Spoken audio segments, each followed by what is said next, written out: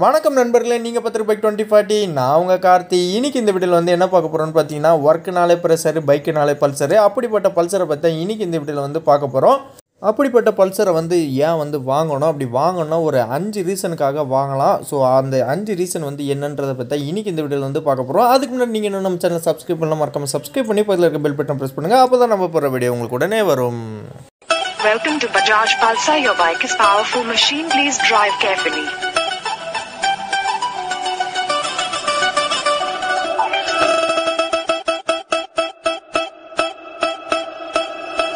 நீங்கள் வந்து ஒரு வண்டி வந்து வாங்க போகிறீங்க அதுவும் பல்சர் தான் வாங்க போகிறீங்கன்னா ஏன் வந்து வாங்கணும்னு பார்த்தீங்கன்னா ஒரு அஞ்சு ரீசனுக்காக கண்டிப்பாக பல்சர் வந்து வாங்கலாம். அந்த அஞ்சு ரீசன் என்னென்னு பார்த்தீங்கன்னா ஃபஸ்ட்டு வந்து வண்டியோட கம்ஃபர்டபுள் தான். ஸோ நிறைய பேர் வந்து வண்டி வாங்கும்போது பார்க்குறது வந்து வண்டியோட கம்ஃபர்டபுள் தான். ஸோ ஃபேமிலிக்கு ஏற்ற மாதிரி இருக்கா நம்மளுக்கு ஏற்ற மாதிரி இருக்கா பார்ப்போம். ஸோ வண்டியோட சீட் செட்டப் பார்க்கும்போது செம்ம லாங்கான சீட் செட்டப் வந்து கொடுத்துருக்காங்க. ஒரு மூணு பேர் கூட தாராளமாக வந்து உட்காந்து போகலாம் போல. அவ்வளோ பெரிய லாங்கான சீட் செட்டப் வந்து கொடுத்துருக்காங்க. ஸோ ஃபேமிலிக்கும் சரி நம்மளுக்கும் சரி பர்ஃபெக்டான பைக்னா பல்சர்னே சொல்லலாம். ஸோ ஒரு ஸ்போர்ட்டி லுக்கில் அதே நேரத்தில் ஒரு ஃபேமிலி ஓரியன்டான பைக்னே சொல்லலாம். ஸோ லாங் ரைட்டுக்கெலாம் பார்த்தீங்கன்னா இந்த சீட் கம்ஃபர்டபுள் வந்து வேறு லெவலில் இருக்கும். தாராளமாக பார்த்தீங்கன்னா ஒரு ஃபேமிலிக்கு வந்து போதுமான பைக்னே சொல்லலாம். நெக்ஸ்ட் பார்த்தீங்கன்னா வண்டியோட ஹேண்ட்லிங் பற்றி பேசி ஆகணும். ஹேண்ட்லிங் பொறுத்த வரைக்கும் பார்த்தீங்கன்னா சிட்டிலையும் சரி ஹைவேலையும் சரி ஸோ ஒரு பக்காவான வண்டினே சொல்லலாம்.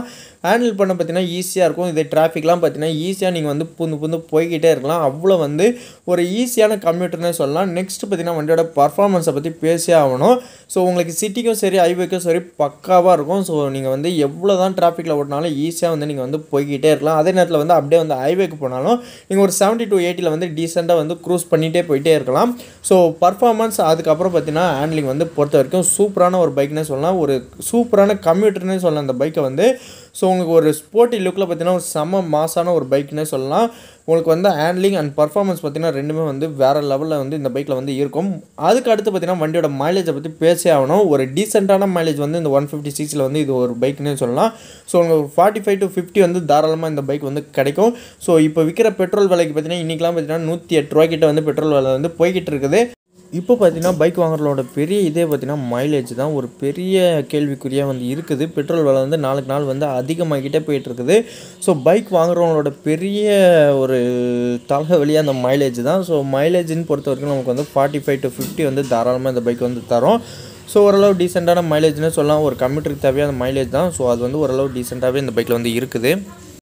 ஃபைனலாக அஞ்சாவது ரீசன் என்னென்னு பார்த்தீங்கன்னா வண்டியோட சர்வீஸ் காஸ்ட் அப்புறம் மெயின்டெனன்ஸ் ஸோ சர்வீஸ் காஸ்ட்டை பொறுத்த வரைக்கும் பார்த்தீங்கன்னா ரொம்பவே சீப் அண்ட் பெஸ்ட்டாக இருக்கும்.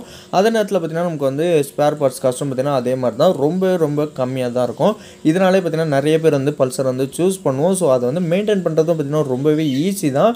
ஸோ மெயின்டெனன்ஸ் சார்ஜும் பார்த்திங்கன்னா ரொம்ப பெரிய லெவல்லாம் இருக்காது. ஸோ ரொம்ப கம்மியாக தான் இருக்கும். ஒரு கம்ப்யூட்டருக்கு ஏற்ற அளவு மிக கம்மியாக இருக்கும். ஸோ ஒரு மிடில் கிளாஸ் ஆளாக இருந்தீங்கன்னா கண்டிப்பாக பல்சர் வந்து ரைட் சாய்ஸாக இருக்கும். ஸோ சர்வீஸ் காஸ்ட் பார்த்திங்கன்னா ரொம்ப ரொம்ப கம்மியாகவே இருக்கிறதுனால தான் இந்த பைக் வந்து நிறைய பேர் வந்து சூஸ் இதே போல் அஞ்சு மெயின் ரீசனுக்காக பல்சரை வந்து வாங்கக்கூடாதுன்னா ஏன்ற வீடியோ உங்களுக்கு வேணும்னா மறக்காம கீழே வந்து கமெண்ட் பண்ணுங்கள் கண்டிப்பாக அந்த வீடியோ வந்து பண்ணிடலாம் இதோட இந்த வீடியோ வந்து முடிச்சுக்கிறேன். இந்த வீடியோ வந்து உங்களுக்கு யூஸ்ஃபுல்லாக இருக்குன்னு நினைக்கிறேன். இந்த வீடியோ பிடிச்சிருந்தா லைக் பண்ணுங்கள் பிடிக்கலாம் மறக்காம கீழே வந்து கமெண்ட் பண்ணுங்கள் தேங்க்ஸ் ஃபார் வாட்சிங் கிப் சப்போர்ட்டிங் மறக்காம சேனல் சப்ஸ்கிரைப் பண்ணுங்கள் பதில் இருக்க பெல் பட்டன் ப்ரெஸ் பண்ணுங்கள் அப்போ தான் நம்ம போகிற வீடியோ உங்களுக்கு உடனே வரும் உங்களுக்கு இந்த பைக் பற்றி எதாவது டவுட்னா மறக்காம கீழே வந்து கமெண்ட் பண்ணுங்கள்